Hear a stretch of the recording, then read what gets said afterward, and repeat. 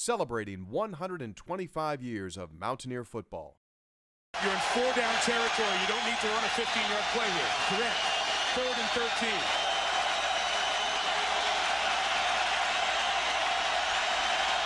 You know you're going to go for it on fourth down. Screen, Wilson. Good luck. Oh, he got a great play. Down the sideline, first down and more. Is he still going? Touchdown! Second effort. What determination.